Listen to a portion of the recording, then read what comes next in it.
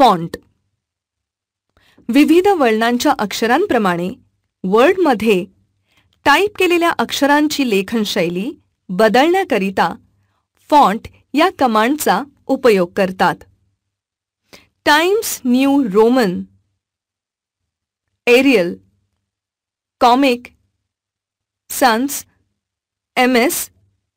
Algerian. इत्यादी फॉन्टच्या यादीतून तुम्हाला हवा असणारा फॉन्ट निवडता येईल.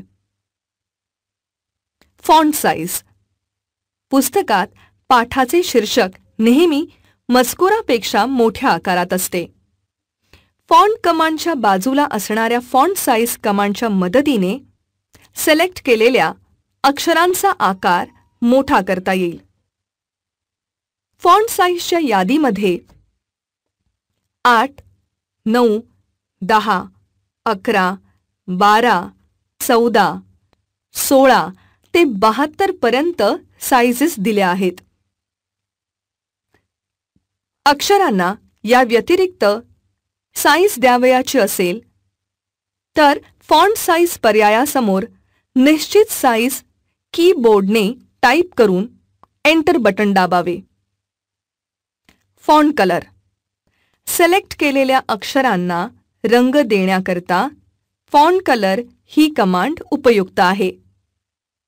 फॉन्ट कलर कमांड समोरील ड्रॉप डाऊन ॲरोवर क्लिक केल्यास विविध रंगांचा रंग तक्ता प्रदर्शित होईल.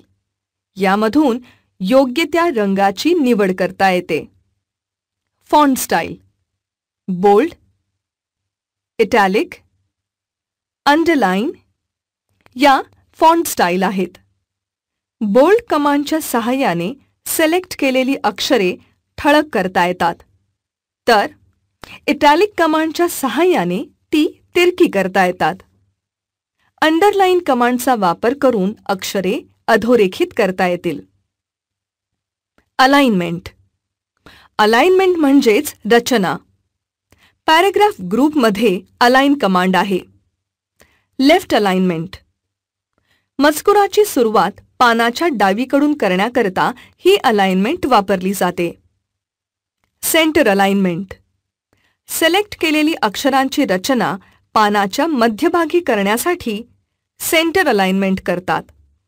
जसे की एखाद्या मजकुराचे शीर्षक हे मध्यभागी लिहिले जाते.